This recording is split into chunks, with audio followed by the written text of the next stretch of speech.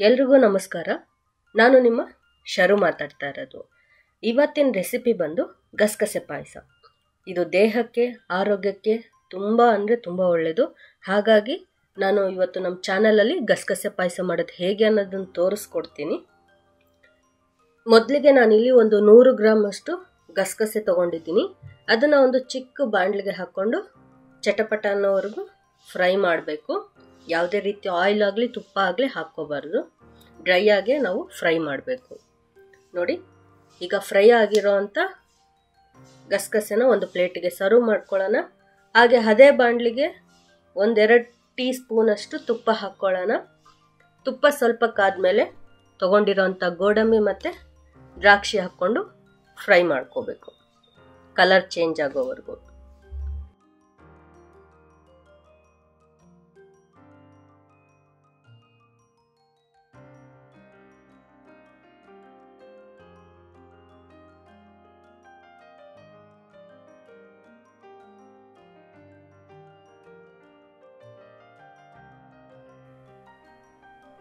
ಈಗ ಇದನ್ನು ಕೂಡ ಒಂದು ಕಡೆ ತೆಗ್ದಿಟ್ಕೊಳ್ಳೋಣ.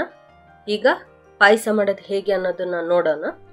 ಮೊದಲಿಗೆ ನಾನು ಒಂದು ಬೌಲಷ್ಟು ಕಾಯಿ ತುರಿನ ತುರಿದಿಕ್ಕೊಂಡಿದ್ದೆ ಅದನ್ನು ಮಿಕ್ಸಿ ಜಾರ್ಗೆ ಹಾಕ್ಕೊಳ್ಳೋಣ.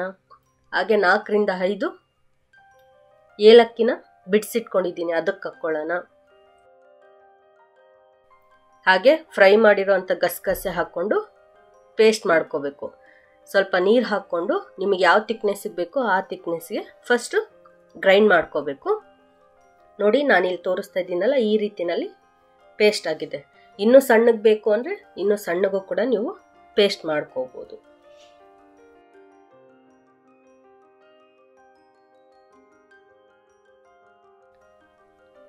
ಈಗ ಇನ್ನೊಂದು ಕಡೆ ಬೆಲ್ಲನ ರೆಡಿ ಮಾಡ್ಕೊಳ್ಳೋಣ. ಫಸ್ಟ್ ಒಂದು ಬೌಲ್ ಬೆಲ್ಲನ ಒಂದು ಪಾತ್ರೆಗೆ ಹಾಕ್ಕೊಂಡು ಬೆಲ್ಲ ಕರಗಷ್ಟು ನೀರು ಹಾಕ್ಕೊಳ್ತಾ ಇದ್ದೀನಿ. ಗಸಗಸೆ ಪಾಯಸ ಮಾಡೋದು ತುಂಬ ಅಂದರೆ ತುಂಬ ಈಸಿ. ಯಾವುದೇ ರೀತಿ ರಿಸ್ಕ್ ಇಲ್ಲದೆ ಕ್ವಿಕ್ಕಾಗಿ ಬೇಗನೆ ಮಾಡಿಬಿಡ್ಬೋದು.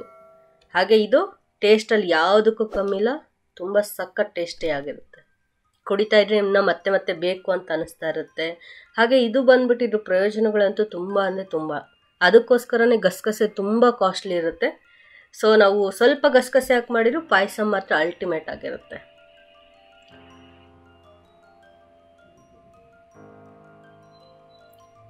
ಈ ಗಸಗಸೆ ಪಾಯಸ ಮಿನಿಮಮ್ ಒಂದು ಸಲ ಅಲ್ಲ, ಎರಡು ಸಲ ಆದರೂ ಮಾಡ್ಕೊಳ್ಳಿ ತಿಂಗಳಿಗೆ. ಯಾಕಂದರೆ ಇದು ದೇಹದ ಉಷ್ಣತೆನ ಕಡಿಮೆ ಮಾಡುತ್ತೆ. ಹಾಗೆ ನಮ್ಮ ಬೋನ್ಸ್ ಮೂಳೆಗಳನ್ನೆಲ್ಲ ಸ್ಟ್ರಾಂಗ್ ಮಾಡೋದಕ್ಕೆ ಒಳ್ಳೆ ಕ್ಯಾಲ್ಸಿಯಂ ಇರೋಂಥ ಸೀಡ್ಸ್ ಅಂತಲೇ ಹೇಳ್ಬೋದು. ಸೊ ಹಾಗಾಗಿ ಪಾಯಸ ಇಲ್ಲ ಹಾಲ್ಗಾರು ಹಾಕ್ಕೋಬೋದು, ಇಲ್ಲ ಬಾಯಲ್ಲಿ ಉಣ್ಣಾದಾಗ ನೀವು ಮಿಸ್ ಮಾಡದೆ ಈ ಪಾಯಸ ಮಾಡಿಕೊಂಡ್ರೆ ತಕ್ಷಣಕ್ಕೆ ಬೇಗ ಹೀಟ್ ಕಡಿಮೆ ಮಾಡೋ ಅಂಥ ಕಾಳು ಅಂದರೆ ಈ ಗಸಗಸೆ ಕಾಳು. ಸೊ ಹಾಗಾಗಿ ನಿಮ್ಗೆ ಯಾವ ರೀತಿ ಇಷ್ಟ ಆಗುತ್ತೋ ಆ ರೀತಿಯಲ್ಲಿ ನೀವು ಮಾಡಿಕೊಂಡು ಕುಡೀರಿ. ಆ ಥರ ಮಾಡೋದ್ರಿಂದ ನಮ್ಮ ದೇಹಕ್ಕೆ ತುಂಬ ಒಳ್ಳೆಯದು ಹಾಗೆ ಪ್ರೋಟೀನ್ ಕೂಡ ಜಾಸ್ತಿ ಸಿಗುತ್ತೆ. ನೋಡಿ ಇವಾಗ ಬೆಲ್ಲ ಎಲ್ಲ ಕರಗಿ ಚೆನ್ನಾಗಿ ಕುದೀತಾ ಇದೆ. ಇದನ್ನು ನಾವು ಇವಾಗ ಬೇರೆ ಪಾತ್ರೆಗೆ ಹಾಕ್ಕೋಬೇಕು. ಈ ರೀತಿ ಬೆಲ್ಲ ಕರಗಿರೋ ನೀರನ್ನ ನಾವು ಪಾತ್ರೆಗೆ ಒಂದು ಟೀ ಸೋಸೋದ್ರಿಂದ, ಸೋಸ್ಕೊಳ್ಳೋದ್ರಿಂದ ಅದರಲ್ಲಿರೋ ಅಂಥ ಕಲ್ಲು ಅಥವಾ ಏನಾದ್ರು ದಾರ ಈ ಥರ ಏನಾದ್ರು ಇದ್ದರೆ ಅದು ಕ್ಲಿಯರ್ ಆಗುತ್ತೆ. ಹಾಗಾಗಿ ಬೇರೆ ಕಡೆ, ಬೇರೆ ಪಾತ್ರೆಗೆ ನಾನು ಆ ಬೆಲ್ಲದ ನೀರನ್ನ ಸೋಸ್ಕೊಂಡಿದ್ದೀನಿ.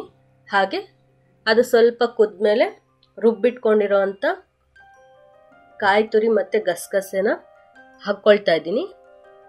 ಈ ಪೇಸ್ಟ್ ಇದಕ್ಕೆ ಹಾಕ್ಕೊಂಡ್ಮೇಲೆ ತುಂಬ ತಿಕ್ಕಾಗಿರುತ್ತೆ, ಯಾಕಂದರೆ ಕಾಯಿ ಹಾಕಿರ್ತೀವಿ. ಸೊ ಆಗ ನಿಮಗೆ ಪಾಯಸಕ್ಕೆ ಯಾವ ತಿಕ್ನೆಸ್ಸಿಗೆ ಬೇಕೋ ಆ ತಿಕ್ನೆಸ್ಸಿಗೆ ಎಷ್ಟು ನೀರು ಬೇಕೋ ಅಷ್ಟು ನೀರನ್ನ ಹಾಕ್ಕೊಳ್ಳಿ.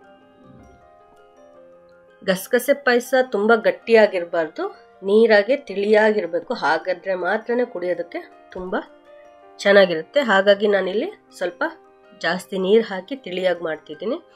ಮಿನಿಮಮ್ ಒಂದು ಐದು ನಿಮಿಷ ಬಿಡ್ತಿದ್ದಂಗೆ ಚೆನ್ನಾಗಿ ಪಾಯಸ ಕುದಿಯೋದಕ್ಕೆ ಸ್ಟಾರ್ಟ್ ಆಗುತ್ತೆ. ಆದರೆ ತಕ್ಷಣಕ್ಕೆ ತೆಗಿಬೇಡಿ. ಒಂದು ಐದು ನಿಮಿಷ ಲೋ ಫ್ಲೇಮಲ್ಲಿ ಇಟ್ಬಿಟ್ಟು ಇನ್ನೂ ಒಂದೆರಡು ಮೂರು ಸಲ ಚೆನ್ನಾಗಿ ಕುದಿಸಿ ಪಾಯಸ ಹಾಳಾಗದೆ ಚೆನ್ನಾಗಿರುತ್ತೆ. ಈ ರೀತಿ ಕುದಿಬೇಕಾದ್ರೆ ನಾವು ತುಪ್ಪದಲ್ಲಿ ಹುರಿದಿಟ್ಕೊಂಡಿರೋ ಅಂಥ ಗೋಡಂಬಿ ದ್ರಾಕ್ಷಿನ ಹಾಕೋದನ್ನು ಮಾತ್ರ ಮಿಸ್ ಮಾಡ್ಕೋಬೇಡಿ. ಅದನ್ನು ಹಾಕಿ ಚೆನ್ನಾಗಿ ಕುದಿ ಬರೋವರೆಗೂ ಬಿಟ್ಟರೆ ಗಸಗಸೆ ಪಾಯಸ ರೆಡಿ ಆದಂಗೆ. ನೋಡಿ ನಾನು ಇಲ್ಲಿ ತೋರಿಸ್ತಾ ಇದ್ದೀನಲ್ಲ? ಈ ರೀತಿನಲ್ಲಿ.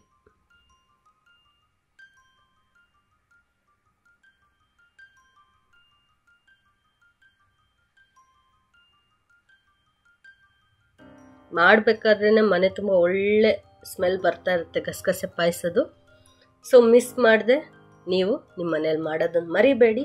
ಹಾಗೆ ಹೇಗೆ ಬಂತು ಅಂತ ನನಗೆ ಕಮೆಂಟ್ ಮೂಲಕ ಮಿಸ್ ಮಾಡದೆ ಕಮೆಂಟ್ ಮಾಡಿ.